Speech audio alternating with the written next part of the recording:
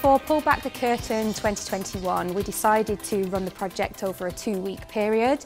The first week, I really wanted to focus on developing the skills um, with the participants, um, such as different theatre practitioners, different styles of theatre, um, different writing techniques, and thinking about how we can use the stimulus of the 20th century icons and bring that together with different theatre practices in order to build like a foundation of skill sets for them in the second week to then go away and work together collaboratively in groups to devise um, their own unique work which they wrote, directed and performed in themselves. Having done more acting and singing with YAF, I was so excited to do a writing piece. I think doing pullback helped me to um, develop my script writing skills that I really didn't know, I was quite unfamiliar with before. Usually when I think of devising, I just think of movement and speech. Through this workshop, we learned many different types of theater, verbatim, Punchdrunk, and different people like Artaud and Jacques Lecoq. We were able to take it to a new level. I learned this much about it, but when I came to this program, I learned this much about it. I was praised and seen as a hero, hero, you saved us all. Usually I would work alone for a monologue, but working in a group has lots of advantages. Like they can give you new ideas when you get stuck and they can also help elevate your piece, which I thought was really cool. I like it better than working individually because that way I can get more feedback and I can get other people's opinions on things so it was really nice to have that kind of second, third, and fourth eye to give me critical feedback and good criticism. We all brought something different to the table and um, some people would be stronger with the writing and others would be stronger with the dance or gestures. I think writing is one of my strengths, especially in theatre. So it was really nice that I could rely on them to help me with my weaknesses and help lift me up. Um, and that's definitely my most memorable part of this journey is, is seeing them celebrating what they already know and sharing it with each other and building that confidence and that, those foundations to, to use then the creativity to get their voices heard. Hardships and humanity. I chose specifically to look at icons from the 20th century because I feel that this is a period of time in living history where there is still so much that is accessible for us to be able to delve into and to use as creative stimulus.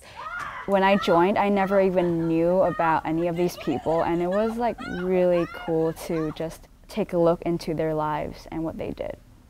Trying to really capture what they represented and also their story just through movement and a basic set. It was difficult, but in the end, I'm really happy with what we produced. Free Ireland! Free Ireland! Our group piece was about rebellion. That was the recurring theme. I think the overarching message was that if you really believe in something, sometimes you have to make a sacrifice. And even though it may be on a personal level, a societal level, but it's still a very big part of all those icons' lives. Sometimes I just want to lock myself in a room to be lonely. My group's theme was on loneliness, and we were trying to show the audience a snippet of these four icons' lives on when they experience loneliness in their lives. Our figures were Winston Churchill, Yoko Ono, Anne Frank, and Harry Houdini. So we tried to tie this these four characters together in a single play.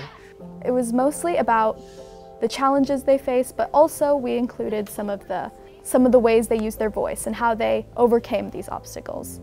No! I refuse!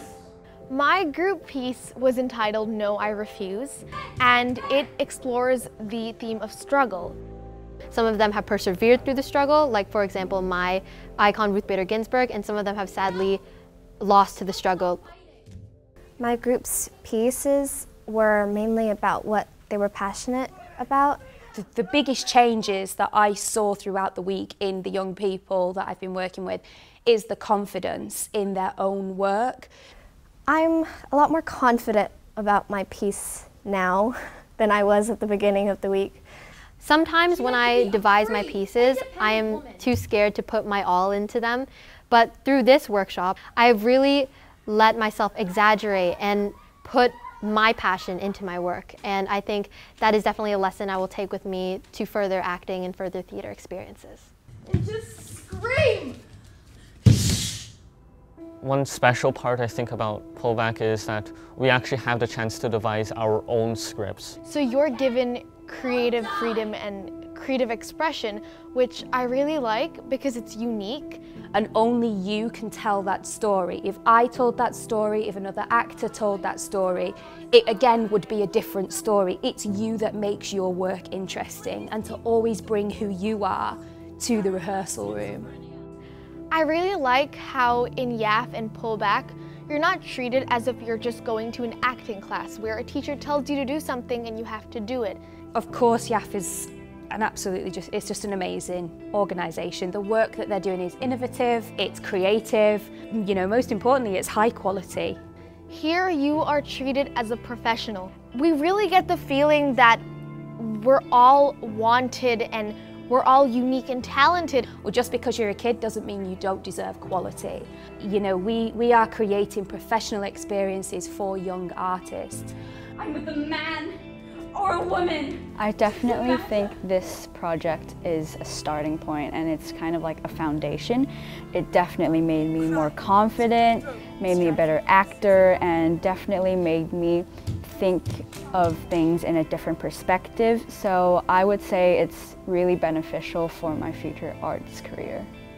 I really want to improve on my physical theater, being able to work in a piece where ensemble is very important along with sort of a chorus really helped aspects just that were purely physical and being able to improve on that I feel like really will help me in the future. I'd come in with a lot of theater experience, but it, what I learned from Becky and all the other actors, it just, it took it to the next level, is a great way to not only make friends, but to grow as actors together. I would say don't be afraid to share your ideas. Just be confident in what you know because everyone has a different style, everyone has different ideas and when you put them together they create something wonderful and magical and I think that's exactly what this piece is. I think anybody who's got an idea um, has got a story to tell. Um, and I think that the first thing to do is to obviously just light that fire and find that first step of confidence to just put your foot forward and say, I want to do this, I want to learn this. Just by having the love of it is enough to get started. The passion in, in all of us.